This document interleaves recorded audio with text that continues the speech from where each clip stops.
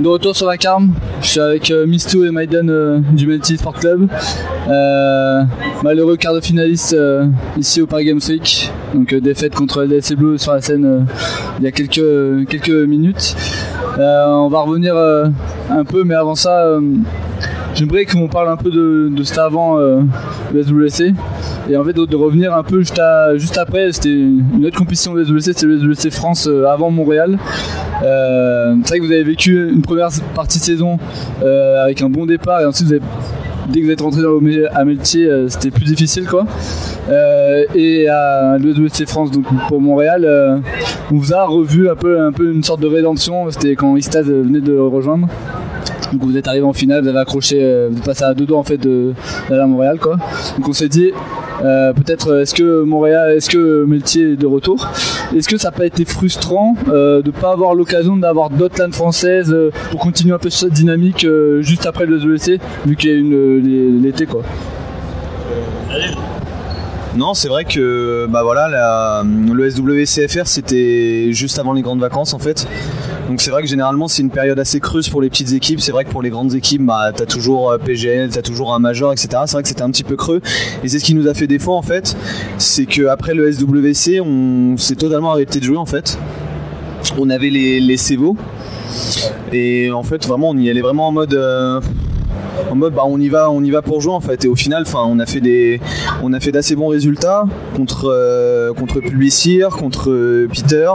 Ensuite on fait le match contre Kingwin qui était franchement encourageant etc puis après on est retombé dans dans comment dire dans le néant en fait. On, ne jouait pas etc on jouait que pour les officiels, etc. Donc du coup, c'est vrai que bah, on n'était pas au maximum, etc. On se donnait pas à 100%, etc.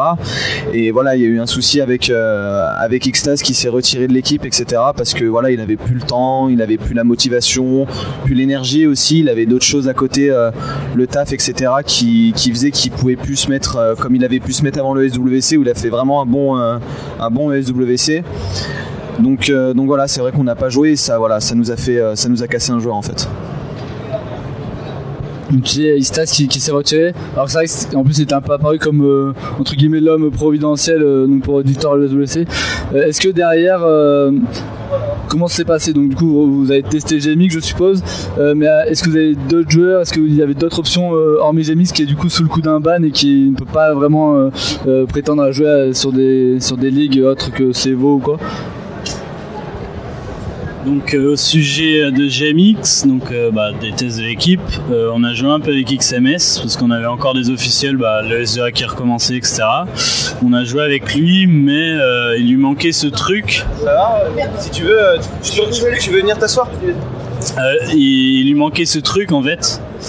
Et euh, donc on a voulu vraiment euh, chercher un leader in game en fait.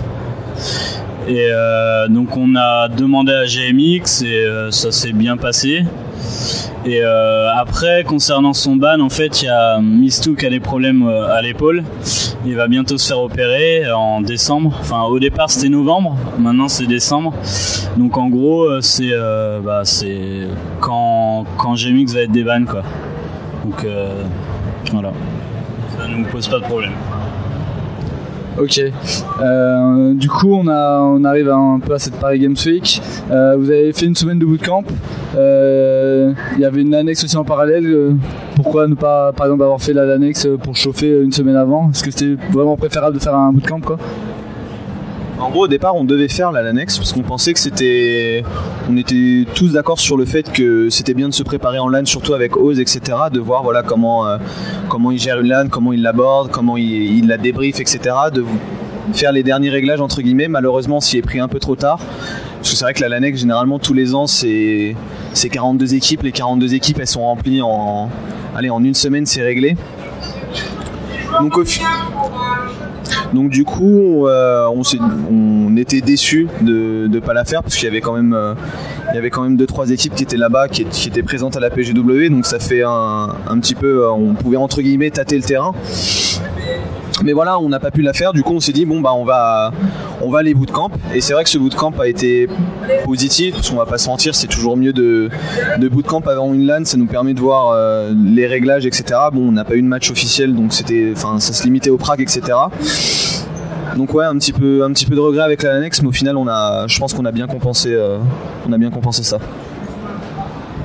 Donc Striker qui remplace GMX. Euh, c'est son, grand retour à cette occasion. Euh, ça faisait un an qu'on l'avait plus trop vu. quoi. Euh, qu'est-ce qu'il vous apporte Vraiment, est-ce que vous avez senti une grosse différence? Alors déjà, ça remonte quand Xtaz a quitté l'équipe. En gros, on s'est posé, on s'est posé à 4 sur le TeamSpeak et on a fait de quoi on a besoin. Parce que c'est vrai qu'avec Meta, il y avait du skill. On va pas se le cacher. Meta, on a beau dire ce qu'on veut, c'est quand même un joueur très très skillé. Mais c'était brouillon. C'était extrêmement brouillon. Euh, au début de l'équipe, ça marchait parce qu'on était 5 mecs qui s'en battaient les couilles de tout et qu'on courait sur tout le monde et que ça fonctionnait. Et il y a même des équipes ici qui, ont ce style de jeu sur internet et qui arrivent à l'appliquer, euh, qui arrivent à appliquer en LAN et qui créent la surprise. Et voilà, on est rentré chez Melty, etc. On a pris un peu plus la pression, les objectifs, le statut de la structure, etc. Donc on s'est dit, on va écarte, on va, on écarte l'hypothèse de prendre un joueur avec du skill. Donc GMX est venu parce que voilà, c'est quelqu'un qui a de l'expérience, etc. En plus avec les soucis d'épaule, bon, ça on l'a, on l'a déjà dit. Et au striker, c'est, il n'a pas fait l'unanimité au départ.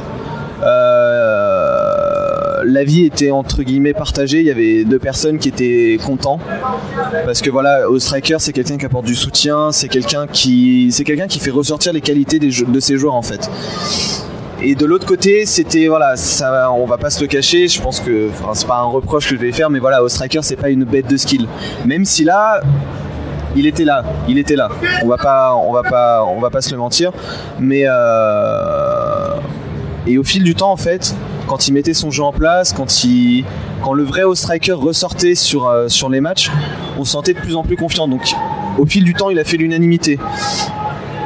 Donc, euh, donc voilà, enfin, striker, c'est un choix qui n'a pas fait l'unanimité au départ, mais c'est vrai que voilà, faut jouer avec lui pour comprendre ce qu'il apporte à une équipe en fait. Et comment s'est passé du coup son intégration? C'est euh, vous aviez votre propre jeu avant. Est-ce que c'est lui qui est arrivé qui avec euh, son lot, on va dire de, de strat ou même son jeu, euh, ou c'est lui qui a vraiment dû s'adapter au vôtre quoi? En fait, c'est un peu les deux.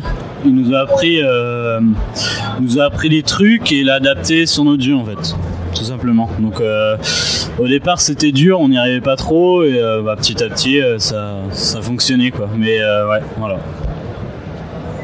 Ouais, voilà. C'était au début, il a voulu imposer son jeu en fait. Et il a vu qu'avec nous, enfin malheureusement, il y a un style de jeu qui nous qu'on affectionne particulièrement, c'est de jouer rapidement, de jouer, de jouer, euh, de jouer rapidement. Et c'est vrai que lui, il a gardé entre guillemets les bases de son jeu, c'est-à-dire l'analyse du jeu, analyser ce que fait l'adversaire pour ensuite adapter, etc. Et en fait, il a, il a greffé ça à nos strats rapides, etc. Donc c'est vrai que, par exemple, sur D2, à cette LAN, on a été intestable parce que notre jeu, c'est c'est voilà, c'est très très agressif, c'est très très stack, etc. Et euh, non, voilà, je pense que c'est plus lui qui s'est adapté pour le coup à notre jeu. Alors, dernière question sur votre préparation. Euh, j'ai parlé à pas mal d'équipes et il y en a certaines qui ont boycotté les équipes françaises avant de venir euh, comme beaucoup le font et d'autres qui ont joué uniquement des équipes françaises quoi. Euh, est-ce que ça a été votre cas? Comment est-ce vous avez choisi vos adversaires pour votre préparation? Est-ce que vous avez choisi en fait vos adversaires tout simplement quoi? Ah non, on n'a pas choisi. Après, on a joué beaucoup d'équipes FR. On a joué Red Instinct, Havan, LLC Blue, même on l'a joué une fois. Avec euh, non, ah, GMX, ouais. Euh, on a joué euh, Dead Pixel aussi. Non, c'est Platinum. Enfin, on a, on a vraiment pas choisi, on prenait ce qui, ce qui, ce qui venait en fait. Après, au départ, on était dans l'optique. Oz, il aime bien en fait jouer une équipe et la jouer tout le temps, tout le temps, tout le temps pour corriger nos erreurs, mais on n'a pas eu, pas eu la possibilité en fait de jouer la même équipe. Voilà. Autrement, ouais, on, on, prenait ce qu'on, ce qu'on avait quoi. Ça marche. Donc euh, vous arrivez à, à cette USBC euh, dans une poule compliquée avec euh, Pulse, Dead Pixel et la surprise entre guillemets Havan quoi. alors vous bon, vous commencez contre Pulse. Est-ce que vous pouvez revenir sur cette équipe, sur ce match? Est-ce que vous avez trouvé compliqué ou? C'est le profil d'équipe qui peut absolument nous surprendre. C'est-à-dire que les mecs, ils en ont chié pour être là. Honnêtement, on suivait entre guillemets de loin les, les qualifs online et euh, on a vu qu'ils galéraient, galéraient, galéraient contre des équipes vraiment très inférieures par rapport à eux. Et du coup, on s'est dit, bon bah voilà, c'est, il faut rentrer dedans, c'est premier match de LAN, etc. Et c'est vrai que cette, euh, bah, ce tournoi, on arrivait bien à rentrer dans les matchs en fait. Donc, euh, donc on, les, on les a amenés sur les maps qu'on affectionnait. Le match s'est déroulé, euh, c'est bien déroulé. Il y a eu des petits, des petits accrochages, etc. Mais sinon, euh, dans l'ensemble, c'était un match, je pense, plutôt maîtrisé un petit mot sur Avan, est-ce que vous voulez penser à ce niveau? Tu m'as dit que vous avez, joué sur Internet. Euh, est-ce qu'il y a une, grosse différence entre leur niveau Internet et leur niveau en LAN euh, comment, vous avez senti ce match? Bah, franchement, on les a joués sur internet, comme tu l'as dit, enfin comme j'ai dit avant, euh, ils nous ont quand même donné du fil à retordre en prac. Et franchement, on les a pas pris à la légère. C'était une, équipe en fait qui, qui nous bousculait un peu. Et euh, bah, on a bien commencé, euh, on a bien commencé les, deux maps en fait. Et on les a vraiment bousculés, on a joué notre jeu et c'est passé quoi. Mais franchement, ils ont été pas mal sur la LAN. Bon, un dernier mot sur, sur Dead Pixel dans un match vous étiez quand même en balotage, euh, on va dire favorable pour la qualification. Euh, bon, vous avez mis votre map, c'était mis quoi. Euh, est-ce que derrière, il fallait quand même la victoire était importante malgré votre défaite? Du coup, est-ce que vous avez vraiment cherché la victoire pour la confiance ou c'était vraiment beaucoup, enfin, sans, je vais pas, je vais pas vous faire, voilà, mais est-ce que vous êtes un peu relâché, est-ce que derrière, voilà. Alors je pense qu'il y avait, enfin avant ce match, il y avait énormément de pression sur nous. C'est vrai qu'on on a compris à moitié la décision du fait de la triangulaire, etc., de euh, supprimer les résultats de, de Havane, etc. Donc je pense qu'il y avait énormément de pression sur la première map. C'est pour ça qu'on l'a extériorisé, mais vraiment. Il y a des chances, c'était limite, limite agressif ce qu'on faisait. Bon, après voilà, il y a Ostriker, il, il, fait le clown un petit peu, etc. Et je pense qu'on s'est, le fait d'avoir mis la première map, ça, nous a rendu, euh, enfin on a on a utilisé toute notre énergie sur, euh, sur la première map. Et c'est vrai que après eux voilà enfin beaucoup de gens les attendaient. On les attendait aussi parce qu'ils revenaient d'une bonne euh, d'une bonne Lanex où ils avaient bousculé WG avec Uzi. Parce que là ils sont avec ils sont avec Hacker mais on va pas se mentir Uzi c'est c'est quand même un point fort dans une équipe donc non, ils étaient attendus et puis voilà, eux, enfin, nous on était mous, on était, on faisait absolument rien, etc. Eux, ils jouaient sans pression parce que malheureusement, bah, ils savaient que, voilà, on avait mis la map, eux, ils rentraient, euh, ils rentraient à la maison, donc euh, voilà, enfin. Ça a encore une fois montré qu'à ce SWC, faut absolument pas se relâcher quoi. Sinon tu te fais gifler. Match avec enjeu ou sans en fait. Ouais, c'est clair qu'on a eu des résultats assez, assez surprenant et de beaux matchs en tout cas. Euh, du coup, ce quart de finale à 9h30 du matin, quoi. Est-ce que vous trouvez que c'est un avantage ou un désavantage de jouer si tôt en fait? On peut être plus frais, euh, je sais pas. Bah, je sais pas, je pense qu'il y a des joueurs, euh, y a des joueurs du matin et des joueurs du soir en fait. Après, il y a plein de choses qui rentrent en compte. Enfin, Oz disait un point intéressant, c'est que Blue, ils sont habitués à jouer le dimanche. Donc c'est des mecs qui le dimanche se lèvent tôt, etc. Et c'est vrai que tout au long de la saison, c'était, euh, mis à part le SWC, c'est toutes les LAN, bah, ils étaient réveillés tôt le matin et, ils jouaient. Donc il y a ça aussi, il y a le rythme de vie aussi qui fait, euh, qui fait beaucoup. C'est vrai que bon bah voilà, si t'as un rythme de vie de merde chez toi où tu te couches à 5h, tu te réveilles à 17h, forcément t'arrives en LAN, tu prends un coup de réveil à 6h du mat, euh, ça te tue. Mais honnêtement, pour nous, je pense que c'était, je ça nous a pas tant affecté que ça, le fait de se réveiller tôt. On était tous à peu près frais ce matin. Eux aussi, ils m'ont semblé frais, etc. Donc euh, non, c'est vrai que pour nous, c'était plus quelque chose de, normal plutôt qu'un avantage ou un désavantage. Du coup, euh, bon, on va dire que c'est le tirage le plus difficile pour vous. Vous tapez, on va dire, je pense, le meilleur deuxième de poule, quoi. Euh, donc bon, pas de bol ou quoi, mais en tout cas, euh, contre LDC Blue, c'est vrai que c'est une équipe que vous, avez vu sur, sur Twitter, vous parlez de Classico et tout, c'est vrai que c'était un peu ça, quoi. Vous avez, souvent joué, quoi. et c'est vrai que bon, ça a pas manqué, un gros match bien serré avec une première map, donc D2 où vous, vous débutez plutôt bien, ça se tape beaucoup, mais au final c'est vous qui prenez l'avantage. Est-ce que vous pouvez revenir un peu sur cette map Ouais, c'est comme Dead Pixel, hein. c'est notre première map, euh, des deux, on rentre dedans, on, le, on court dessus, enfin on, on fait notre, euh, notre jeu quoi. Et ça se passe plutôt pas mal. Enfin, on, leur a- on les a bousculés de partout, euh, on était confiants. Après, je pense qu'on a un peu trop donné justement sur ces maps. Un peu comme Dead Pixel. Et euh, après Mirage, et là c'est le mur, vous rentrez euh, dans un mur, c'est le cas de le dire. Euh, Est-ce que c'est une map que vous appréciez à la base? C'était leur map. Hein. Euh, Est-ce que c'était peut-être pas. bon, Est-ce que vous avez pensé à la veto? D'ailleurs, le veto, comment c'est passé? Je crois que notre... Il me semble que notre premier veto, ça a été train. Le train, c'est, ça a fait l'unanimité, c'est le, c'est le premier veto. Après, ils ont bien géré leur veto et de toute façon, on s'est dit ça avant la LAN. C'est qu'on avait, on avait quatre maps de préparer.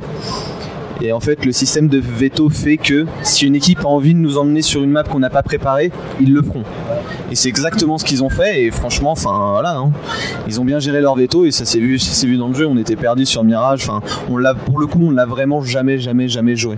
Après, de base, c'est une map qu'on affectionne, etc. Mais quand tu, quand tu tombes contre une équipe en place, généralement ça, voilà, c'est en plus on commence en terreau, donc euh, là, on, à chaque fois qu'on prend une zone, on se prend trois flashs de mollo, Bully qui décale euh, sur les flashs qui fait 3 kills. euh, Petit Scale qui est caché Taz ou BP qui fait 3 kills aussi. Enfin, vraiment pour le coup, c'était une boucherie. Donc, donc voilà, c'était totalement mérité ce qu'on a pris. Quoi. Comment vous avez abordé Cubblestone après, euh, on va dire, cette dérouillée Est-ce que je parlais à Alex, il me disait que, on va dire, sur les, sur les deux trois derniers rounds euh, sur euh, Mirage, qu'on s'est déjà parlé un peu de ce qui allait se passer sur Cobblestone, quoi. Est-ce que c'était vraiment, est-ce que, est-ce que vous êtes senti un peu abattu ou c'était vraiment déterminé, quoi? Et enfin, est-ce que vous pensez avoir vraiment toutes vos chances sur Cobble, quoi? Ouais, après, euh, à la fin de Mirage, ouais, comme tu l'as dit, euh, on, a perdu 14-1. Euh, on, nous a dit, pensez à l'autre map. Enfin, on joue quand même notre jeu, mais pense à, pense à l'autre map. euh, etc. C'est vrai qu'après, on s'est senti un peu dépassé sur Mirage. On savait plus trop quoi faire et on a essayé de jouer, mais on était dépassé complètement. Et donc Cobblestone, euh, est-ce que c'est une map que vous travaillez justement, que vous avez travaillé et, ouais, un mot sur, le- sur euh, la map du coup? Maintenant, c'est vrai que que Cubble, c'est une map qu'on a préparée, sur lequel on a un jeu, sur lequel on a des bases, on a des setups, on a des strats, etc. Mais euh, voilà, comme, euh, comme je le pense, ils ont été meilleurs que nous sur tous les domaines en fait. Nos sites terreau, généralement, c'est nos points forts. Et sur cette LAN, ils étaient corrects. C'est-à-dire, on fait des 8-7, on... généralement, c'est bien. Après, voilà, il y a un gros problème aussi sur cette LAN, c'est les GR. Les GR, c'est catastrophique. C'est, je crois qu'on a mis euh, 15% de nos GR sur, euh, sur. On a mis 5 GR dans la LAN sur euh, 1, 2, 3, sur 4 BO3, c'est. Voilà, donc, euh, pour te dire à quel point c'est catastrophique les, les gun runs. Et après, bah voilà, honnêtement. Là, comparé à l'ESWCFR, on n'avait pas l'élément de surprise. C'est-à-dire qu'on avait habitué, on avait habitué les gens à montrer un niveau de jeu très bas, qu'au final ils arrivaient confiants, ils arrivaient euh, détendus, etc. Et là, là de A à Z, même s'il y avait 14-1, même si on se faisait mener sur un score large, en fait, tu sentais que les mecs c'était comme s'il y avait 14-14, 15-14, etc. C'était les rounds étaient à fond, etc.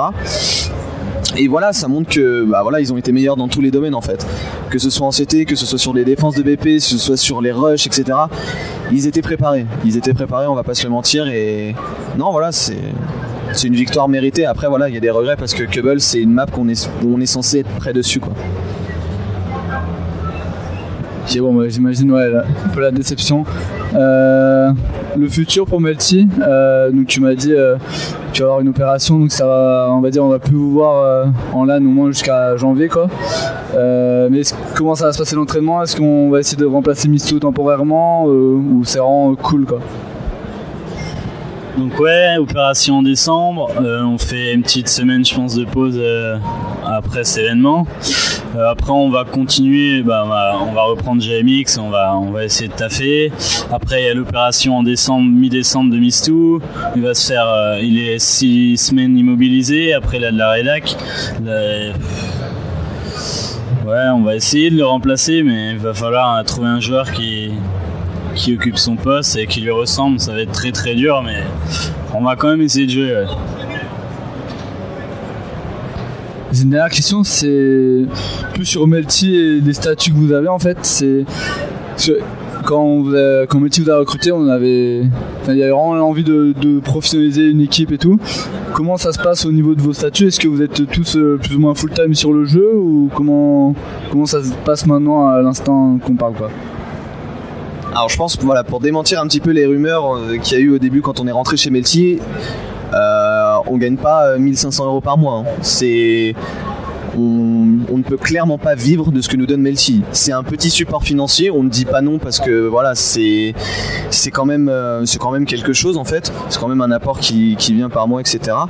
Mais ouais, pour l'instant ils sont je pense que Melty est plus dans une phase où, ils essaient de se promouvoir entre guillemets où voilà tu les vois sur Overwatch tu les vois sur tous les jeux il y a un jeu sur, euh, Nintendo DS qui va sortir ils vont prendre un joueur enfin non mais vraiment enfin après on va pas se cacher c'est Melty c'est quelque chose qui financièrement est est lourd et euh, voilà s'ils ont envie de faire quelque chose ils le font mais là c'est vrai que bah, on pas pendant la semaine de bootcamp on a ça nous a permis de parler avec, euh, avec des responsables et c'est vrai que voilà, c'est sur le futur, ça serait bien.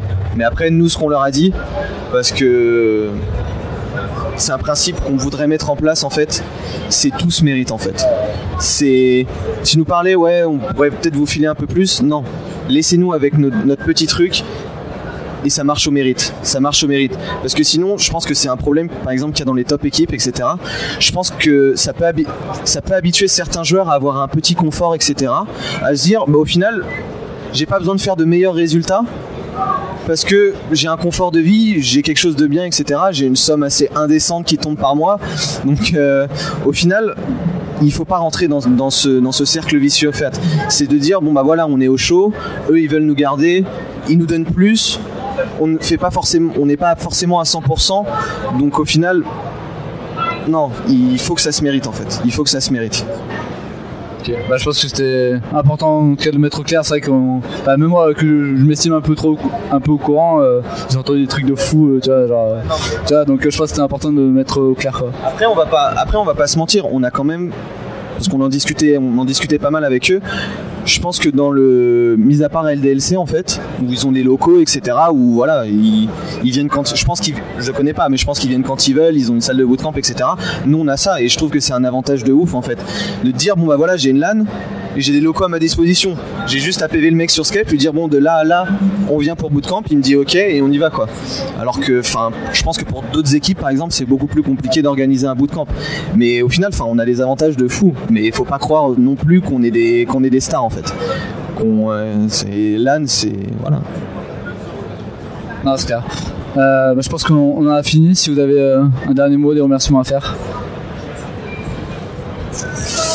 Euh, bah, me- merci Milty pour euh, tout ce qui nous euh, tout ce qui nous apporte avec notre sponsor euh, notre main sponsor euh, Bouygues Telecom.